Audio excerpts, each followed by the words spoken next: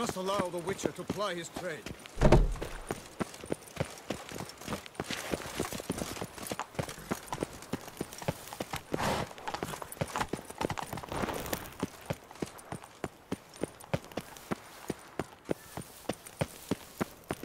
Patrolling on an empty stomach. Oh, dreadful.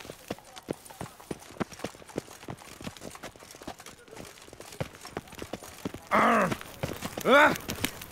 I've three doublets, none of which are suitable to show myself in. Sir, sir, a letter for you, sir. Letter? Who from? Can't rightly say, sir. I was just to deliver it.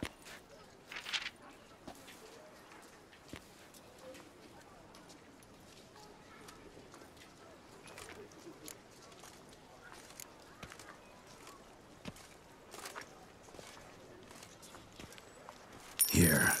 And thanks. No, sir. Thank you. And I truly hope I'll be of service again. My dear friend. I've been told you're on a jaunt to Toussaint. I do hope you don't overtax yourself during the wine festival. The effects of such exertion at your age can indeed prove most detrimental. I've come upon some information which might be of interest to you. While browsing through a colleague's book collection, I found mention of one Professor Moreau of Beauclair, who conducted research into Witcher mutations. The details I've come to learn are rather vague, and his laboratory's location remains a mystery.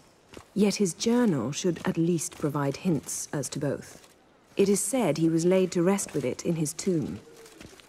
I enclose a map I found in the tome I happened upon. Though less than completely legible, I trust it will prove useful nonetheless. Should you grow tired of sampling Beauclair's ladies, wines, and other exquisite delicacies, this matter might prove a fruitful diversion. Investigate at your leisure. Your friend, Yennefer. Hmm.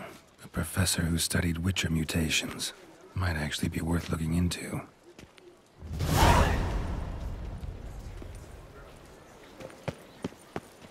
Shoop dum darere up shoop.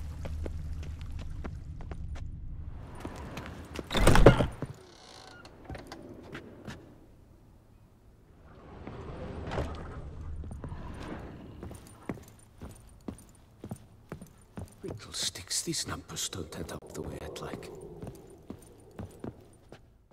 Greetings, brave hero.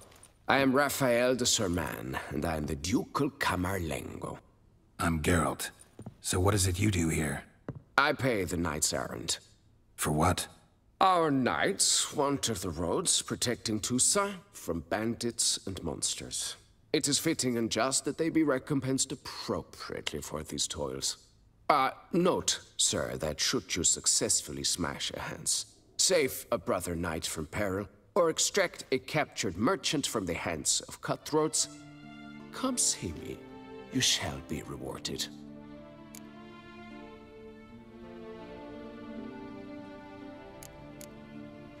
Can't help but be curious, but where do the funds for those payments come from? The ducal treasury, of course. Her illustrious highness Anna Henrietta assigns great value to bravery and selfless patriotism.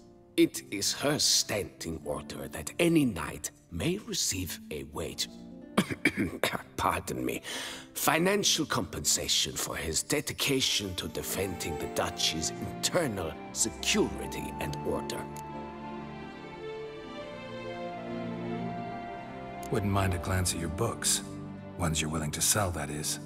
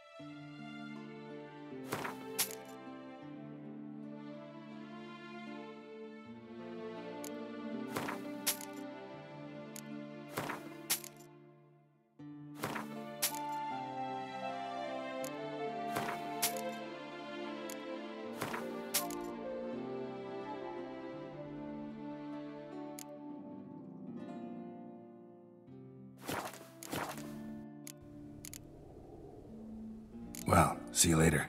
Go in peace for a night. 143 carry the two.